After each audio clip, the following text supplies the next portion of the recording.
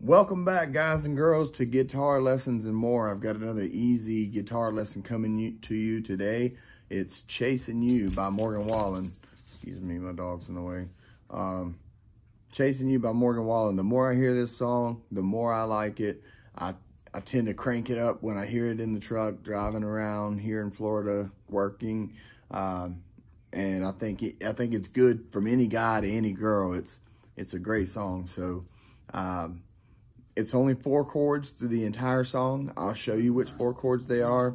I'll show you how to, how the intro goes, how the verse goes, how the chorus goes, um, and then I'll show you how to. I'll break it down the easy way. Okay, this is an easy beginner.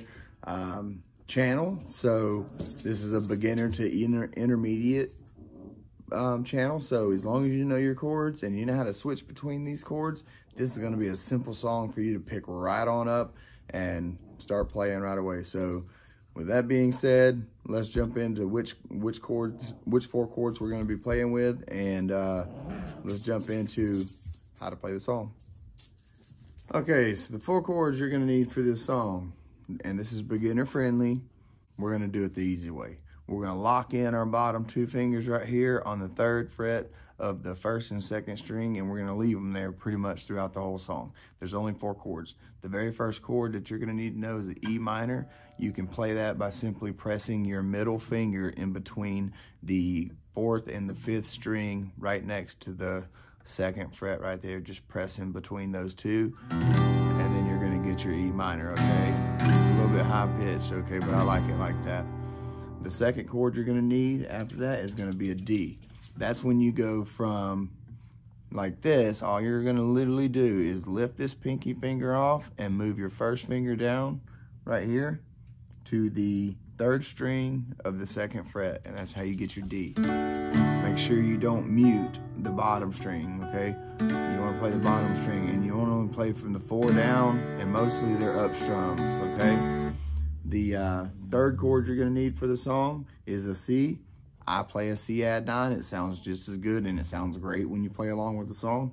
So C add nine, keep your bottom two fingers locked again here. So when you go from D, you just basically plant your finger back down, put your middle finger here onto the third fret of the fifth string and put your second finger onto the um, third string of the second fret it's just like playing a G, except for you're gonna be just dropping your fingers down too. So when you go from the E minor to the D, then you go to the G, the uh, C add nine, and use your middle finger to mute that top string.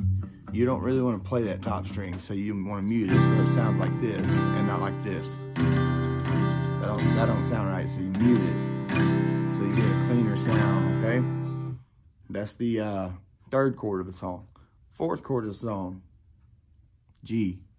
Lift your two fingers and just move them up just like that. One whole set of strings. That simple. That's it. That's the only four chords you're going to need to the entire song. And I'll show you how the intro goes now. Couple of kids in a Kids in the on Sipping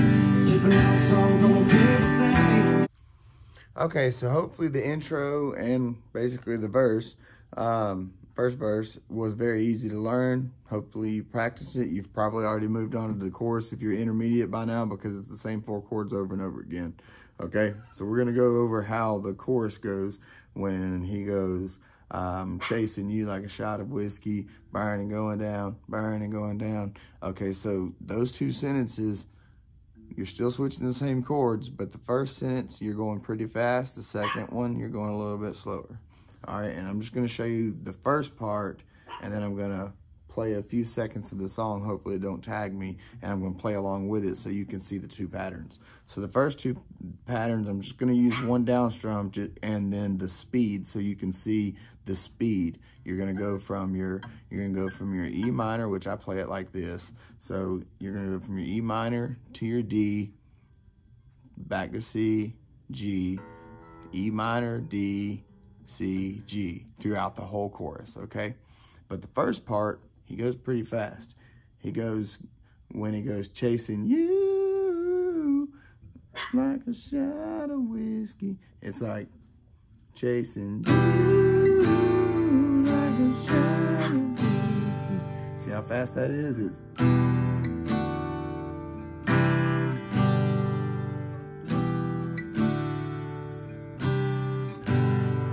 that's how fast you go through the first part. So let's play a little bit of it and see how it sounds.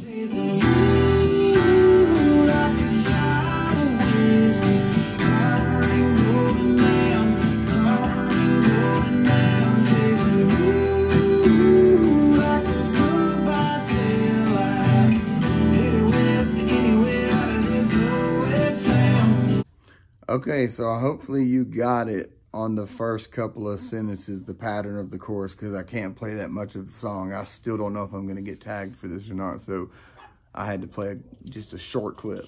So you've got the verse and you've got the chorus. The second verse is just like the first verse. You just repeat it. Whenever he, when he ends the chorus, you just get, the interlude is E minor, D, C, G. It's the same thing. The verse number two starts out just like verse number one. E minor, D, C, G. And then chorus, exactly the same thing. And you play that throughout the whole song. And that is how you play Chasing You. So put it on the music on the background, use those four chords, practice, comment below if I missed something or if you've got a question or anything like that and I'll get back to your comment. So hopefully, hopefully this video got you doing good and we'll uh, get you playing this song. Thanks again for watching. Do not forget to subscribe. Have a nice day, gentlemen. Peace out.